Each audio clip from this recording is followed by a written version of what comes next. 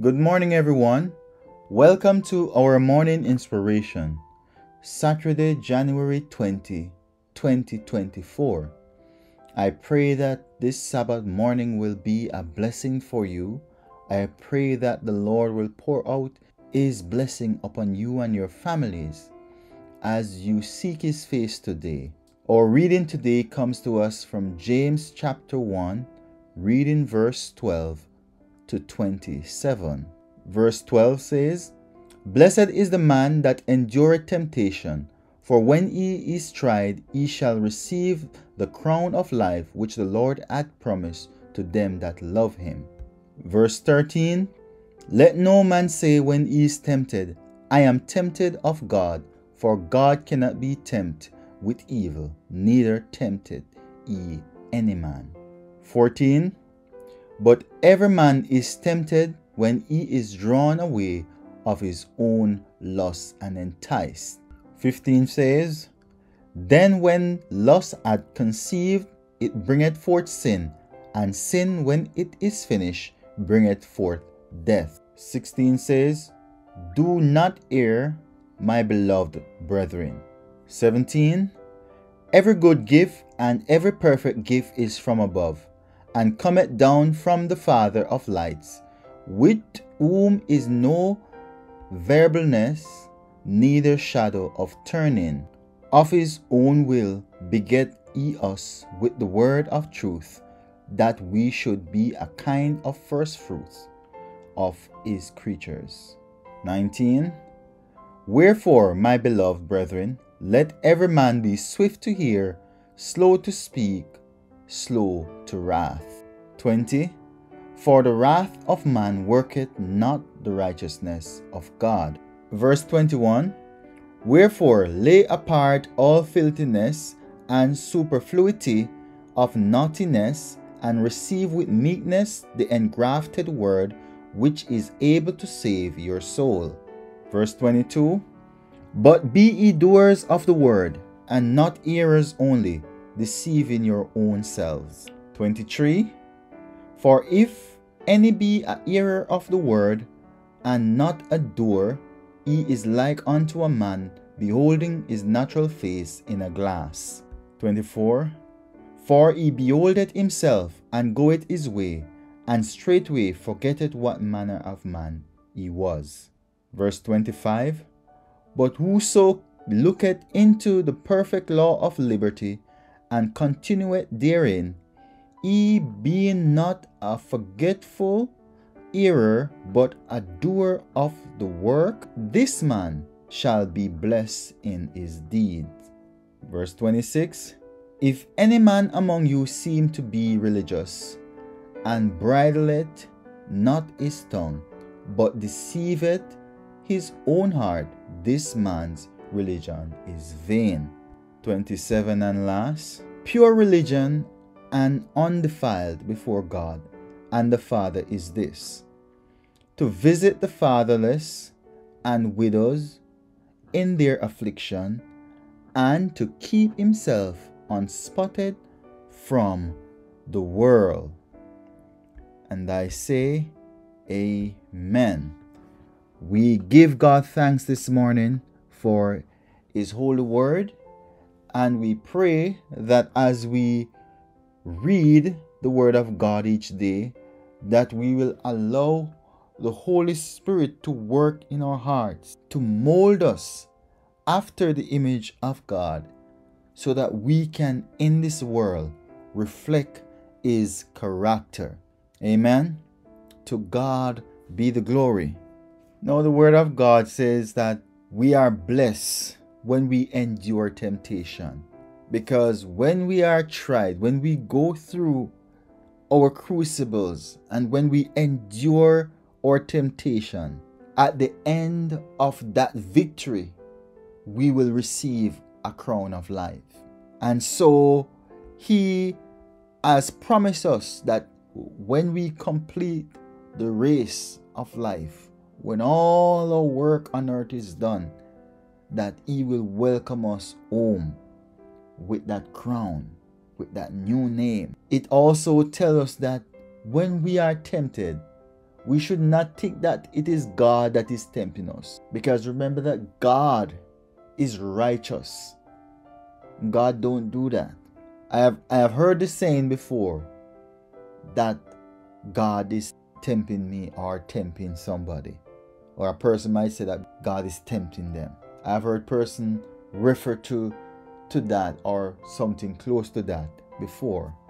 And here the word of God is telling us that God do not do that. That is the devil's work. The devil is the one that tempt you. And as scripture say, why are we tempted oftentimes? We are tempted most of the time we fall into temptation because we are drawn away our own lusts draw us into those predicaments. And so because we are drawn away, the devil have an opportunity now where he can tempt us.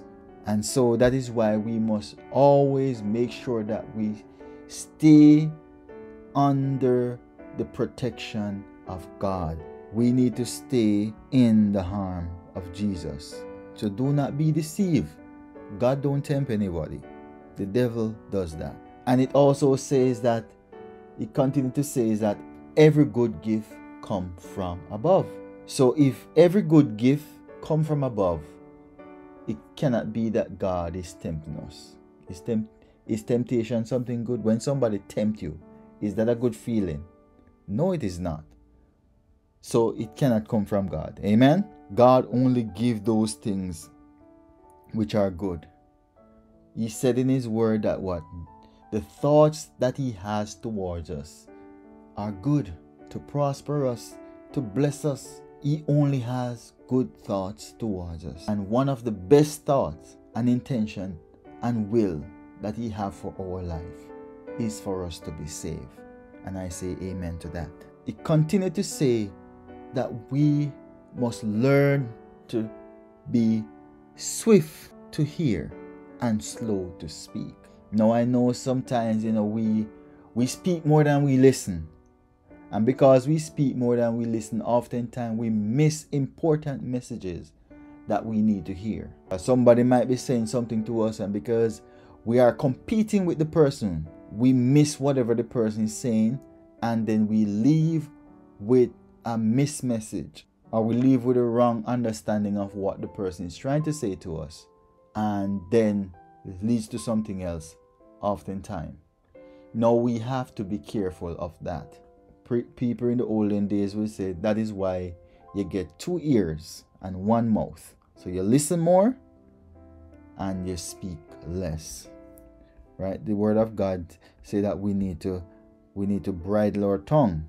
We need to put away all the things from us that are offensive to God, that are displeasing in the sight of God. Right? And we need to engraft ourselves in the Word of God because the Word of God is what will transform us into the image of God because it points us to God and it shows us those things in our lives that we need to get rid of. Amen. And so that is what we need to pay attention to. So when we hear the word of God, we need to put the word of God in practice. Because when we don't do that, we're only deceiving ourselves and then we fall into the, in the category of hypocrisy or hypocrites. And nobody wants to be called that ugly word. True? And so let us learn to practice what we preach. You know, sometimes we will fall, yes, but we must get back up again because remember, we are not representing ourselves and we have to be careful of the message that we send out there into the world. Amen. It continued to tell us that if we are hearers of the word and not doers of the word, is almost like you going to the mirror to fix your tie and then forget that is your tie you go to fix. And you walk away and didn't fix the tie.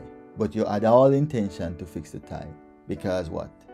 Either somebody told you that the tie needed to be fixed, or you realized that the tie needed to be fixed, but you didn't fix it. So, in the same way, if you hear the word of God and you don't make it practical in your life, it doesn't help you You, you see what I'm going? You see where I'm going with this? So, whatever you hear, you're supposed to put it in practice. Whatever you read, whatever you study, we should make it become a part of our lives. Now, it says also that if a man, if someone claim to be religious or claim to be a Christian, but is not practicing Christianity, then he's deceiving his own self.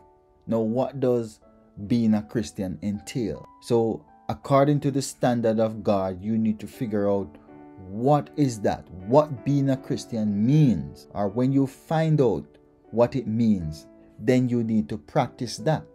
You can't say you're a Christian and then you fail to practice the principles of Christianity. And it goes on and it gave a little example of what being a Christian is all about. It talk about visiting the fatherless, the widows, those who are afflicted, those who are afflicted, those who are suffering, those who are in need, those who need comfort, whatever the situation may be. We need to reach out to these people and we need to share with them the love of God while we try to meet the needs that they may have. And so it's a complete package. So Christianity is unselfish love in practice. Amen. And so, as we consider the Word of God this morning, and as we think about what the Holy Spirit is trying to say to us, may we work the work that we have been given. And may we humble ourselves. May we be faithful. May we continue to run this race as we look for the coming of our Lord Jesus Christ. Because He says that when He comes, he will give each person according to the deeds that they have done. So, if you want to be saved in the kingdom of God, if you want to receive a crown of life, you know what you got to do. You have got to be faithful. You have to finish the race faithfully. That's the only way. We can't do this in our own strength, it has to be in His strength. So, let us continue to seek His face. Let us continue to trust Him because one of these days, he will return to take us home.